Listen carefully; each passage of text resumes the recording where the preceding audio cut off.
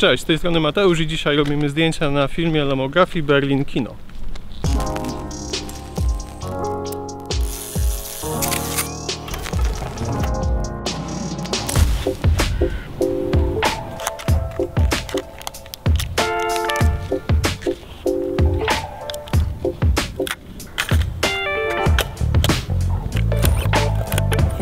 Robimy zdjęcia dla Intruza, czyli dla marki streetwearowej, z którą razem z Nazarem współpracujemy już od bardzo, bardzo dawna i będziemy robić foty Mamią RB6 na 7 na filmie, którego nie używałem wcześniej, ale ostatnio tam się kontaktowałem z Lomografii, czy by mi nie chcieli czegoś wysłać i powiedzieli, że tak, chcemy Ci wysłać filmy średnioformatowe między innymi wysłali mi Berlin Kino, czyli film czarno-biały o czułości 400 Nigdy w życiu nie przyszłoby mi do głowy kupić czarno-białego filmu od Lomo, bo oni się kojarzą z takimi bardziej filmami efektowymi, jakimiś Lomo Chrome Purple i tak dalej, i tak dalej.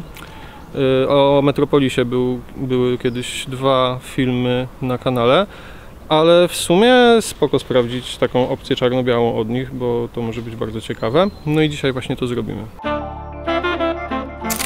Ale jeszcze zanim zaczniemy, to mam dla Was mały prezent, a mianowicie z kodem MZINTRUS macie 20% rabatu do końca listopada na wszystkie ciuchy na www.intrus.com a osoby wspierające mnie na Patronajcie y, z kodem, który udostępnię na naszej zamkniętej grupie dostaną ode mnie minus 40% na wszystkie ciuchy Intrus.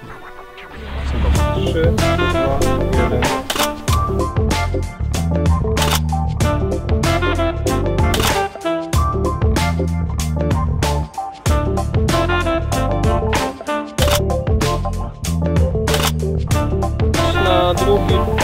na, na czytania ty zostań, a przejdź o, o, jeszcze wyżej.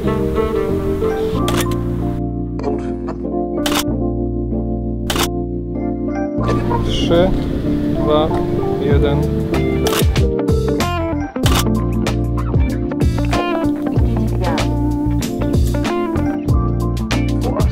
Wolę sobie ogólnie sam wywoływać filmy czarno-białe, dlatego że mm, w zależności od filmu i w zależności od tego, jakiego użyjemy wywoływacza, to po pierwsze może to wpłynąć i wpływa na finalny efekt, a po drugie każdy film wymaga innego czasu wołania.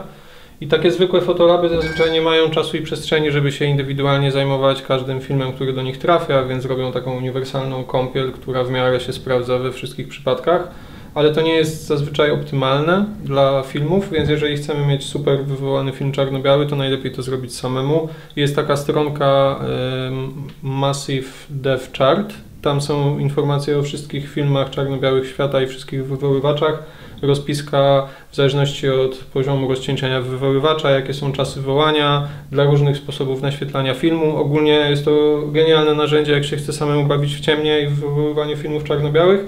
No i nawet Lomo mm, Berlin Kino też tam się znalazło. Będziemy wołać w Rodinalu 1 plus 50 i według tamtej bazy potrzebuje 13,5 minuty wywoływać ten film w Rodinalu.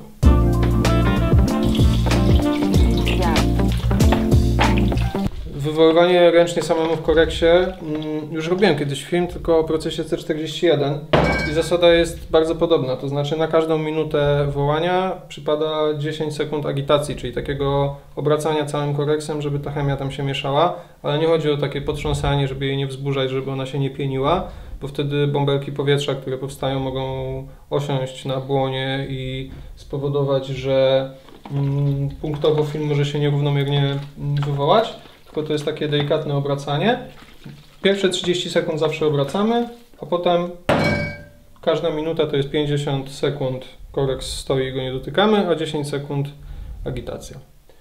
I to jest pierwszy etap, czyli wywoływanie, potem jest przerywacz, czyli kąpiel w takiej, w takiej substancji, która neutralizuje działanie wywoływacza, potem utrwalacz, czyli to, co utrwala efekty wywoływania, na koniec płukanie przez 10 minut w wodzie, i stabilizacja przez minutę. Mm, stabilizatorem najlepszym jest w ogóle kropla Ludwika rozpuszczona w wodzie, a przerywaczem najlepszym jest roztwór octu. Także można zrobić część tych rzeczy naprawdę bardzo tanio i w ogóle czarno-białe wołanie, wołanie czarno-białych filmów w domu jest bardzo tanie, jak już się ma takie mm, rzeczy jak koreks, jakieś tam butelki na chemię i wszystkie potrzebne rzeczy, to to jest taka jednorazowa inwestycja na początek. A potem już jest bardzo tanio. Także opyla się to robić, zwłaszcza, że część labów, chyba większość labów, mm, drożej kasuje zawołanie filmów czarno-białych niż kolorowych.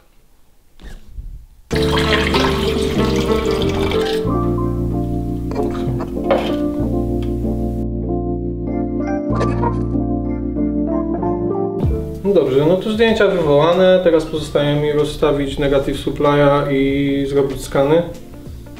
W sumie to będzie spoko okazja, żeby spróbować yy, czarno-białych fotek, bo dotychczas wszystkie testy, które robiłem z tymi sprzętami, o których robiłem kiedyś unboxing, na razie robiłem tylko z kolorem i używałem konwertera Negative Lab Pro do Lightrooma, żeby zdjęcia pozytywowe przerobić na negatyw, a z czarno-białymi jeszcze się nie bawiłem i ze średnim formatem jeszcze się nie bawiłem, tylko z małym obrazkiem, więc fajnie.